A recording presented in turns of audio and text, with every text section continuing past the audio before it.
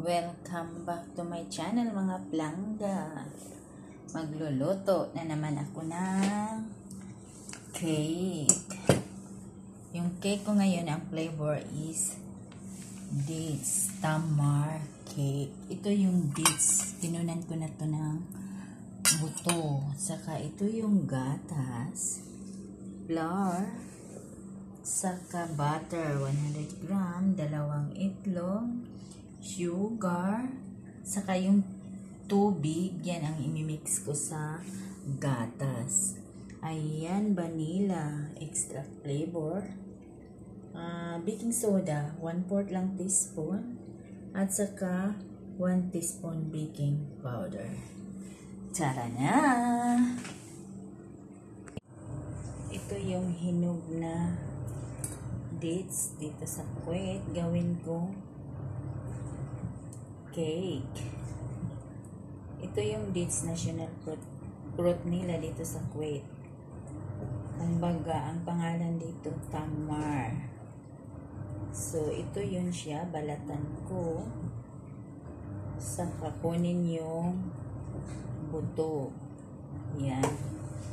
Tapos, gawin ko tong cake. Kunin lang ang buto. Tapos, ipi-blend ko to mamaya. Yan. Ito yung hinog na masarap to siya matamis. Natural sugar. Ito hinog na siya masyado kaya maitim. Ayan. Yan ang buto. Oh. Yan ang mga buto yun. Tingnan nyo mga blangga. Yan ang fruits nila dito. National fruits. Yan, gawin ko cake. I-steam ko lang yung cake. Ayan, ano, isang cup to siya na dates. Tapos ihalo ko sa isang cup na harina. Ayan, tara na mga palangga. Magmimix na ako ngayon ng nandito palang spatula.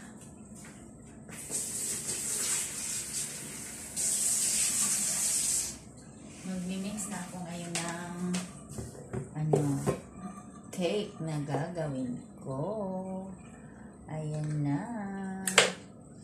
Ayan, una, flour. Ilalagay ko dito sa mixing bowl. Ayan. Tapos, ilalagay ko rin ang powder. Kasi powder milk ang gamit ko. So, ilalagay ko dito. Yan. Imimix, imimix lahat ang dry na mga ingredients. Ayan. Tapos, itong sugar. 3-4 cup ng sugar. Remember, all powder mixed together. Ito yung baking soda. 1-4 teaspoon. At saka ito yung baking powder. 1 teaspoon. Ayan, paghaluin lahat. Ayan. Haluin yung mga powdered na ingredients. Haluin lang, ganon. Ayan.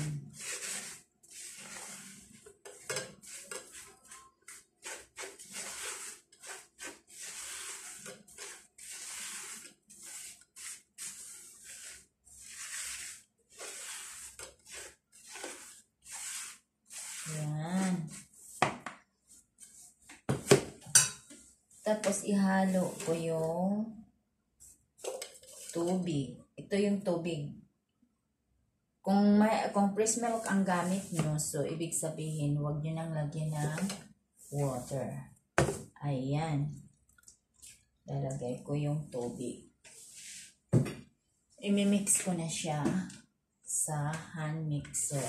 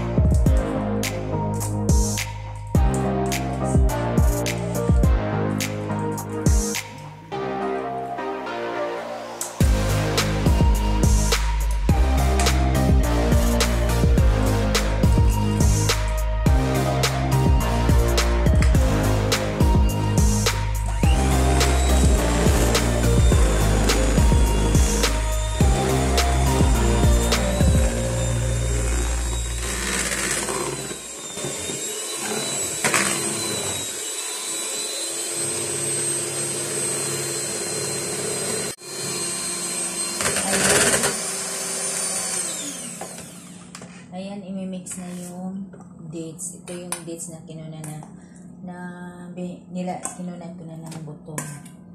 Halo lang dyan.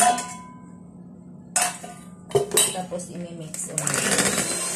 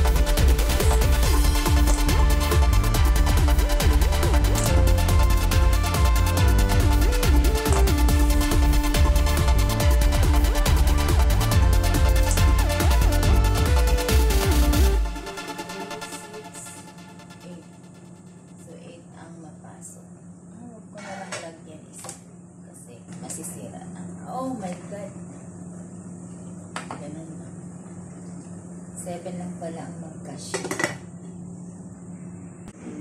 Ayan na, tingnan na natin yung cake.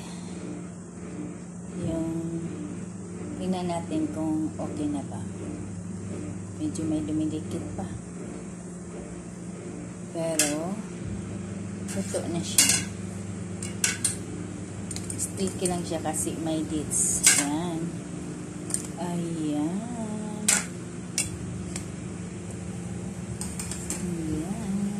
Oh.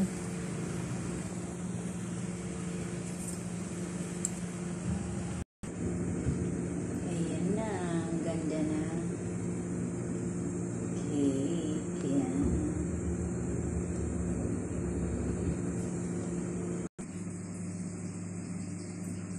Ayan na. Well done. Ito yung new minok mo sa cake. Dates. Chuẩn.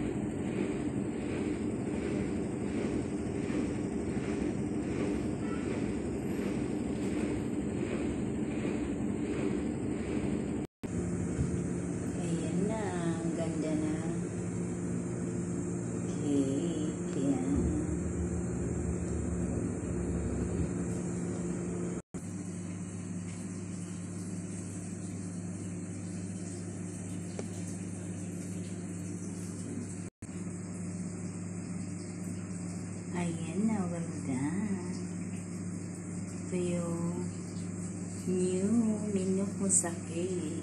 It's cake o tamar cake. Ayan, yan.